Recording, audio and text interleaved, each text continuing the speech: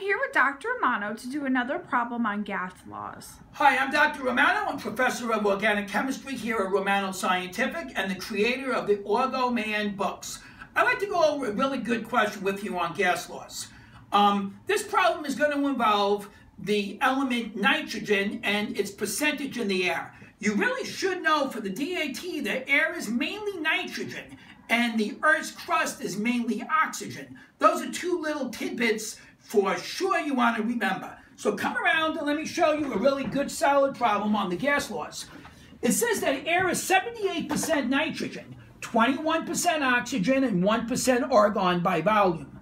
Consider one liter of air at 25 Celsius.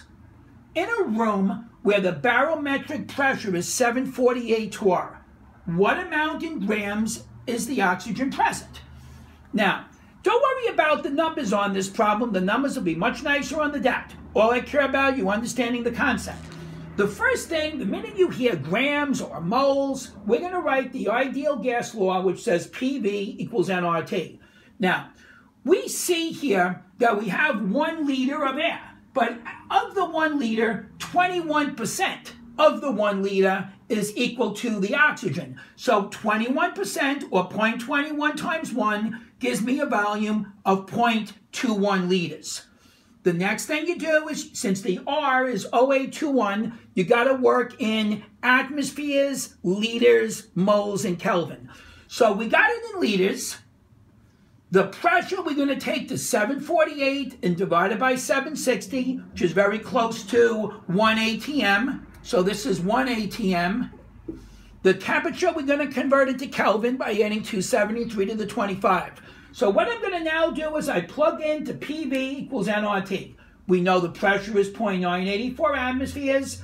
The volume is 0.21 liters. There's the R, which is given to you on the DAT. There's the T in Kelvin. And that's going to give me 0.0085 moles of oxygen.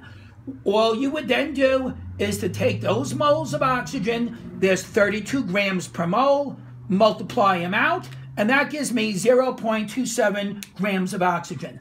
I hope this gives you a good idea of what to expect in the DAT. The numbers will just be a little nicer, little easier to work with, but if you understand this and you can do the ones in the destroyer, you're set to go. All right, good day to you.